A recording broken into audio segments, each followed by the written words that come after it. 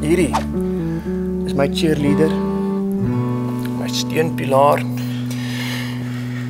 en binnekort my vrou. Ons is verloof. Magriet gaan soos myne. Okay, ons soek alles. Bells, whistles, the works. Baie werk. Ek het iets crazy gereël vir ons trou. Magriet, ons het hieroor gepraat. Ek wil nie resepsie toe ry op 'n donkie nie. Trouvoete Philip maak my absoluut mal. My ball and chain. Hy. My beautiful ball and chain.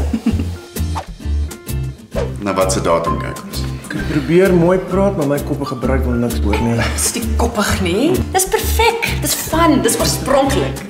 En dit is Kersdag.